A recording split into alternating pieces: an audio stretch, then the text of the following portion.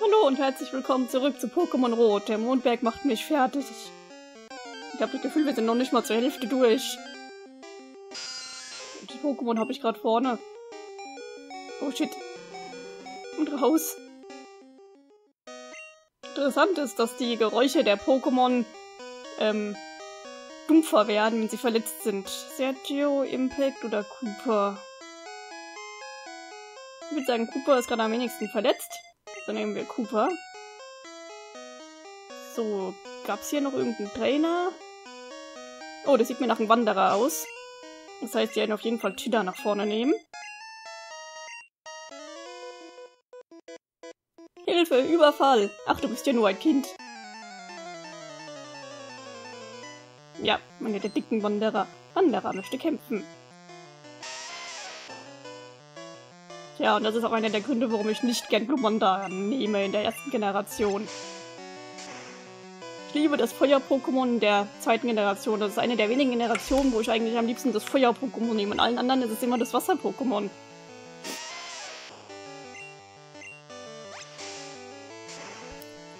Aber in der ersten Generation ist Shiggy mein Lieblingsstarter. Und unser Chilla kriegt das Sinken.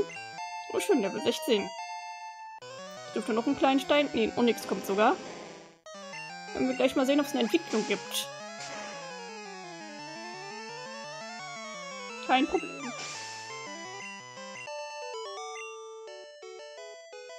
Wow, du hast mich total überrumpelt. Tatsächlich. Die Entwicklung von Hornil zu Kokuna und Biber habe ich ja offscreen gemacht. Da wie gesagt, es gibt noch genug Entwicklungen, die ihr dann onscreen sehen könnt.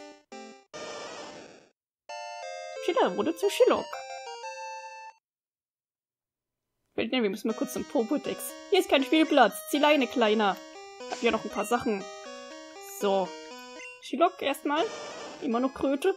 Dieses Pokémon dauert im Wasser auf Beute. Die Ohren dienen beim Schwimmen zur Orientierung. Außerdem denke ich, dass es eines der Bichu ist, das dreischwänzige.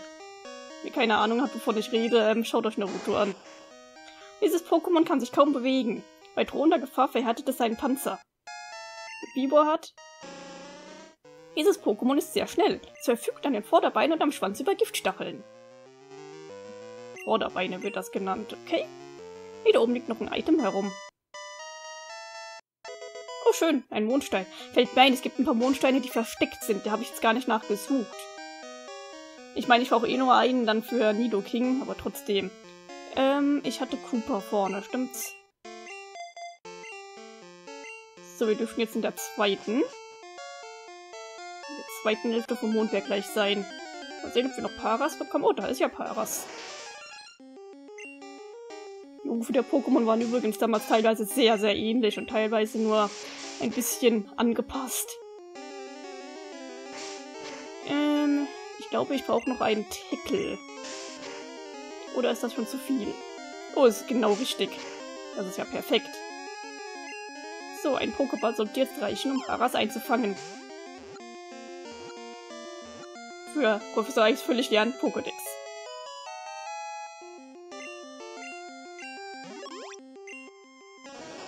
Pilz-Pokémon.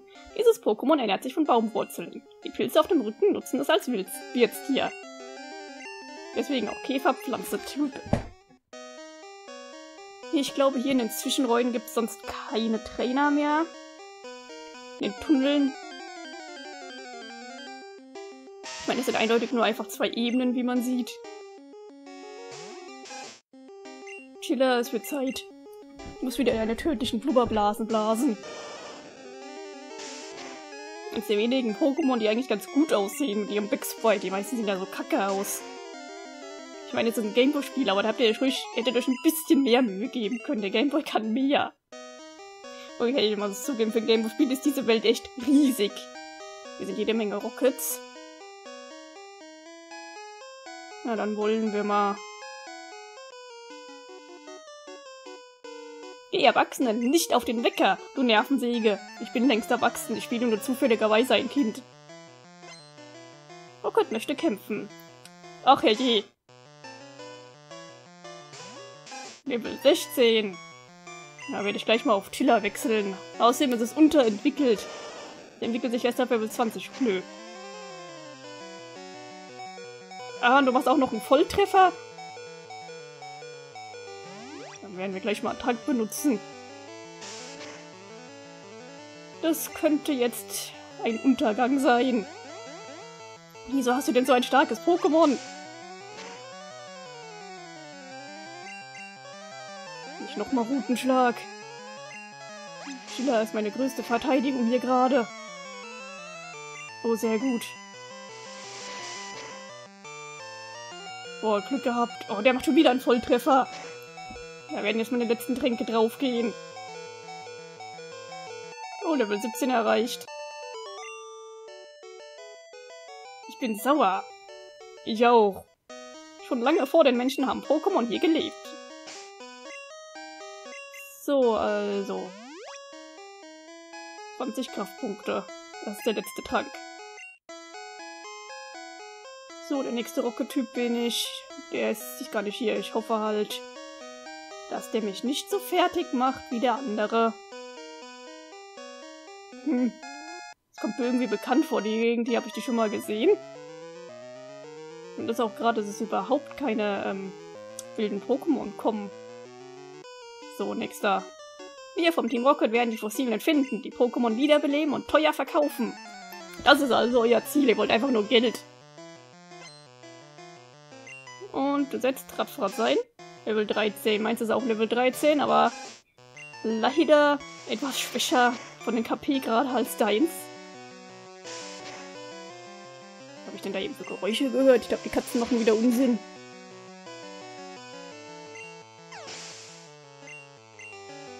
Und ein Zubat. Ich würde mal sagen, Sergio ist das Richtige. Na super. Gut, wir versuchen es wenigstens einmal. Sehr gut. Noch ein Volltreffer. Ja, danke. Gruppe erreicht Level 14. Oh, schön. Luperzahn. Das, was ich wollte. Ach, was da der macht, ist mein Mann. Ja, das gibt es nicht. Du machst mich irre. Das Team Rocket wird dich im Auge behalten. Ähm, tja, ich würde mal sagen, Impact ist jetzt der nächstbeste, den wir hier nutzen können.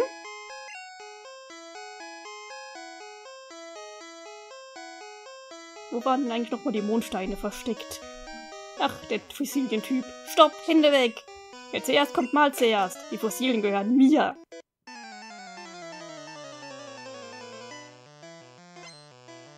Der Streber möchte kämpfen. Ach, der hat Slimer. Okay, gut, dass ich jetzt Impact vorne habe. Aber hat Slimer nicht Komprimator drauf? Aber schon auf dem Level? ist nur Pfund. Und noch eine Hornattacke. Und ein Aussetzer. Oh, Glück gehabt, das ging daneben. Das auch. Das habe ich aber Glück gerade. Also kenne ich dass die Gegner mehr Glück haben. Na, es wird kein Problem sein, dieses Volteball wird noch nicht Explosion drauf haben. Weil wenn wir jetzt bei den Fossilien sind, dann sind wir so gut wie durch. Dann ist der Mondberg nicht mehr weit. Gott, wie ich das Geräusch von Kreideschrei hasse.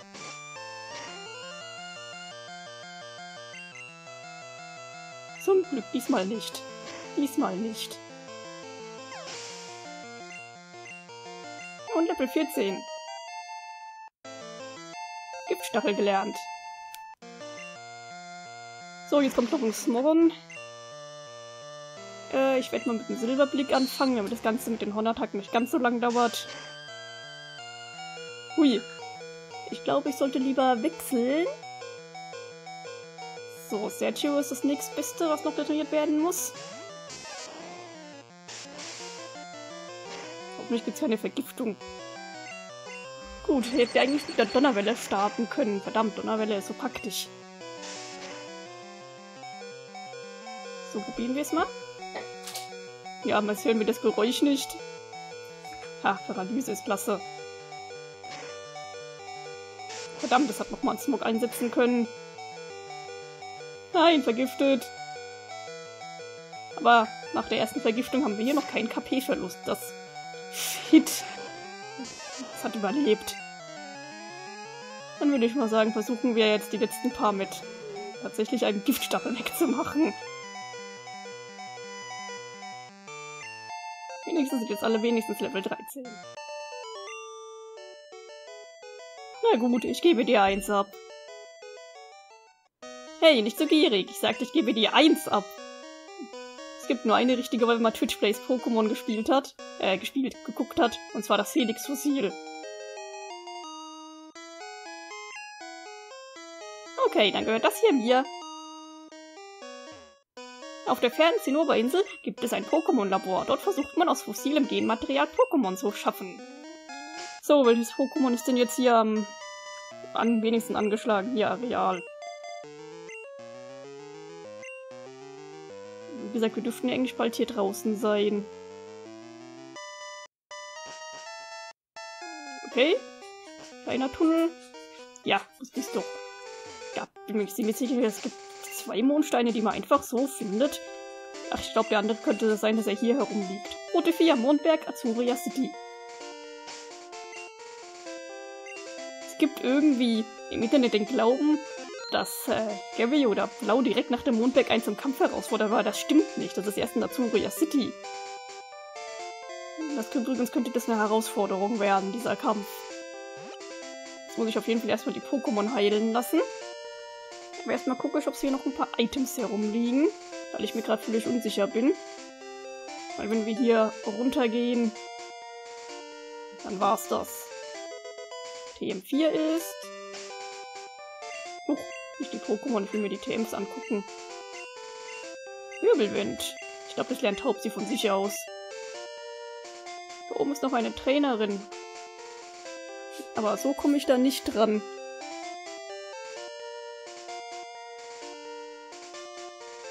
Okay. Sieht aus, als müssen wir jetzt runterspringen. Hier ist noch ein bisschen hohes Gras. Nur ein Radfratz. Ja, das sollte Areal eigentlich hinbekommen. Windstoß. Ich jetzt allerdings denke, ich habe ja Impact. Es ja keinen Sinn, zwei Gift-Pokémon ins Team zu nehmen. Also sollte ich eigentlich Retter nicht ins Team nehmen, auch wenn ich Arbor cool finde. Hm, das ist jetzt natürlich eine schwierige Entscheidung. Wobei es halt auch äh, Nidoking viel zum Giftboden-Pokémon wird. Das ist ziemlich gut. So, wir sind in Azuria City angekommen. Du erstellst eine Enzyklopädie der Pokémon? Das klingt lustig. Ich hätte gerne ein rotes Fahrrad. Aber ich würde nicht damit fahren, damit es nicht schmutzig wird. Das ergibt ja dann viel Sinn. Fahrradladen. Fahre leicht und schnell mit dem Rad durch Höhlen und Gras. Die Fahrräder sind ziemlich cool, aber unheimlich teuer. Ich möchte ein Hollandrad kaufen. Ein Mountainbike hat keinen Gepäckträger. Ja, weil man damit auch normalerweise nicht fährt. Ähm, in der Stadt fährt. Ein brandneues Fahrrad. Hallo, willkommen im Fahrradladen. Wir haben garantiert das richtige Fahrrad für dich. Das ist unser bestes Fahrrad. Möchtest du es haben? Ich habe nicht genug Geld dafür. Eine Million. Besuch uns doch mal wieder. Keine Fahrräder kosten so viel. Echt jetzt. Tipps für Trainer. Drückt man den W-Knopf während der Entwicklung eines Pokémon, so wird der Prozess abgebrochen. Ja, du das an. Ein Haus ohne äh, Tür. So, kaufen wir mal ein paar Tränke. Hallo, kann ich dir behilflich sein? Schau dich in Ruhe um. Äh, Trank. So, fünf Stück erstmal. Das war's. Was habt ihr denn zu sagen? Besitzt du Sonderbonbons? Gib mal einem Pokémon ein Bonbon, dann erreicht es den nächsten Level. Benutze einen Schutz, um Käfer und schwächere Pokémon von dir fernzuhalten. Optimalen Schutz solltest du das stärkste Pokémon an die Spitze der Liste setzen. Okay. Lamus macht ein Nickerchen. Ach ja. Okay, Lamus, setze Ultraschall ein. Los, mach schon, Lamus. Lamus, schlage zu. Oh nein, wieder nicht. Lamus, zurück. Nein, nicht. Es ist schwer, ein Pokémon zu kontrollieren. Ob dein Pokémon gehorcht, hängt von deinen Fähigkeiten als Trainer ab. Und von der Anzahl der Orden. Amos ignoriert die Befehle. Amos macht ein Nickerchen. Aber die Pokémon, die man selbst gefangen hat, gehorchen meistens. Du bist auch ein Trainer? Zu sammeln und zu kämpfen ist nicht immer so leicht. Azuria City Pokémon Arena. Arenaleiterin Misty. Die gruselige Arenaleiterin, was? Hieß es nicht die bezaubernde Meerjungfrau? Habt ihr das geändert? Azuria City, eine mysteriöse blaue Aura umgibt die Stadt. Was war an der Zauber bezaubernden Meerjungfrau so falsch? Ja, wir wollen schnell mal heilen. Ich möchte nämlich noch mal kurz zurück auf die Route 4. Und gucken, ob ich da nicht noch was fangen kann. Dann wieder vorbeikommen. Ist gut. Bill besitzt viele Pokémon. Er hat einige sehr seltene in seiner Sammlung. Hat man dir schon von Bill erzählt? Jeder nennt ihn den Pokémon-Jack. Aber ich glaube, die Leute sind bloß neidisch auf Bill. Wer würde denn nicht mit seinen Pokémon prahlen? Dieser Bill. Ich hörte, für seltene Pokémon würde er alles tun. So, äh, ich wollte ein paar Sachen in den PC legen. Item ablegen. TF12. Äh, nein. Das KP Plus. Nein, verdammt. KP Plus. Sonderbonbon. So, ich habe noch ein paar TMs. Weg damit. Den Mondstein brauche ich noch nicht. Das Helix-Fossil brauche ich noch nicht. Die TM4 kann auch weg. Gut. Dann gehen wir mal jetzt zurück. Obwohl, wir haben hier noch in Azuria City noch nicht alles gesehen. Na gut, wir haben uns den Süden angeguckt. Hm. Nee, wir gehen erst für den Rest von Azuria City angucken. Hier in dem Haus gibt's irgendwas. Ähm, Im Garten, das weiß ich. Nur sehr begabte Trainer tragen Pokémon-Orden. Wie ich sehe, bist du bereits Träger eines Ordens. Die Orden sind geheimnisumwoben. Also dann, welchen Nachtorden soll ich dir etwas erzählen? Ja, der sagt mir einfach, was passiert. Angriffe deiner Pokémon werden ein wenig verstärkt. Außerdem kannst du jederzeit Blitz einsetzen, also dann... Nein, das wollte ich nicht.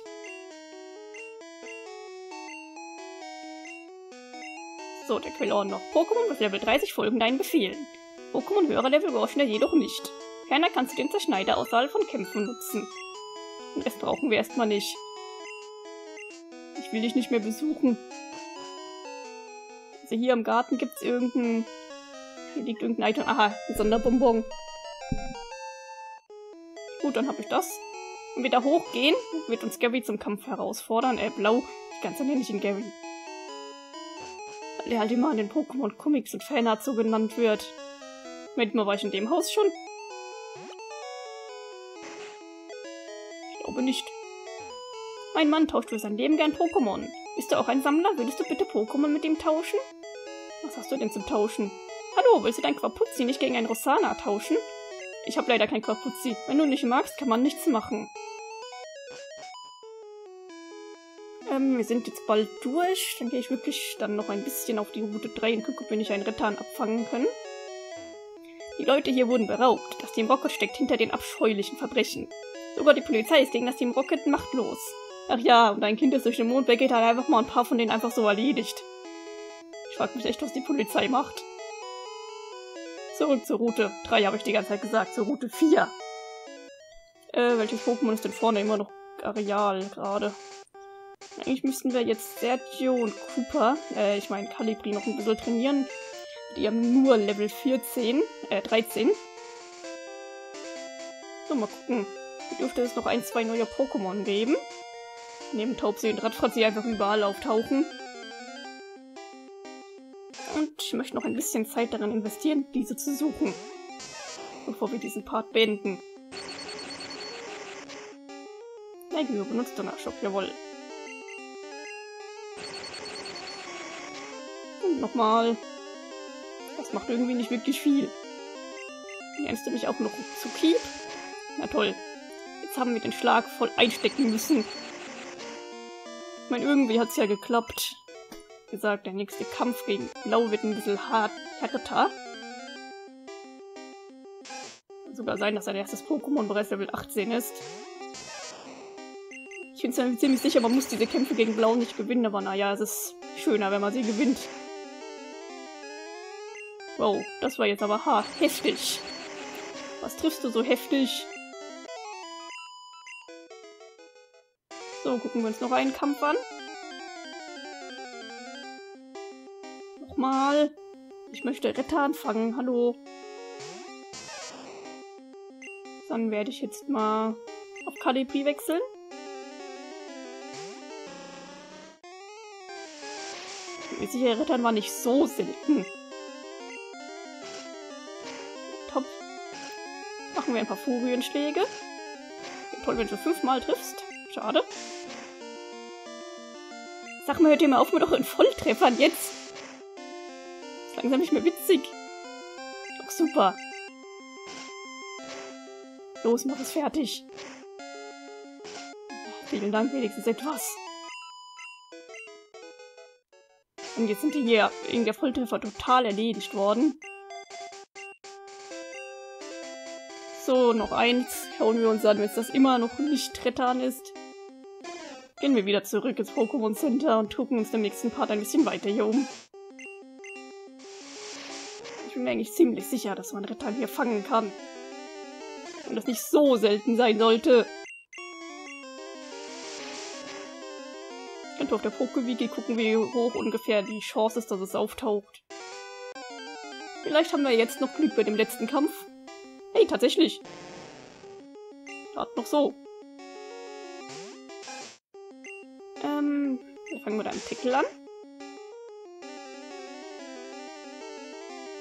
Ich würde mal sagen, wir werfen gleich den Pokéball.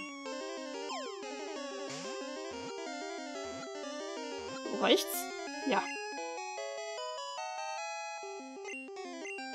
Der Eintrag im Pokédex wird angelegt. Dieses Pokémon kann sich lautlos bewegen. Seine Nahrung sind die Eier von Vogel-Pokémon. Ein Spitznamen? Ja, möchte ich. Und zwar Diesmal Verdana. Und die Katze ist voll auf meinem Schreibtisch. Was machst du auf meinem Schreibtisch? So, dann werden wir mal Calibri durch Verdana austauschen, denke ich. Ähm und dann wird wahrscheinlich auch noch ein bisschen Pokémon-Training drin sein. Weil ich dürfte jetzt eigentlich alle gefangen haben, die da sind. Ne, ich werde erstmal heilen. Irgendwie will ich gerade keine verletzten Pokémon in den PC legen. So, heilen.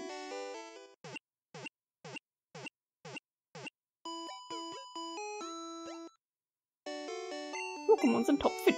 Kommen jederzeit wieder vorbei. Und da muss ich nochmal heilen. So. Bindung zum Gast-PC oder hergestellt. Zugriff, bla bla bla. So, wir legen ab Calibri.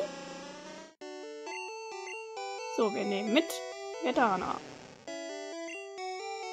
Ich hatte ja äh, Verdana ja noch nicht, oder? Benutzt. Nee. Waren andere Namen.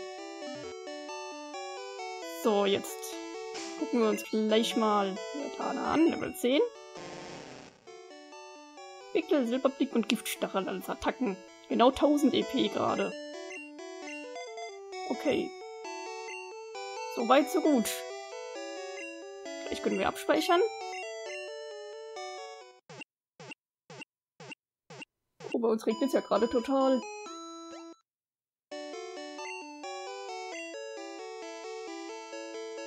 Vielen Dank fürs Zusehen. Schreibt mir noch in die Kommentare, wie es euch gefallen hat. Ich verabschiede mich mit weniger Denken, mehr Spielen. Bis zum nächsten Mal.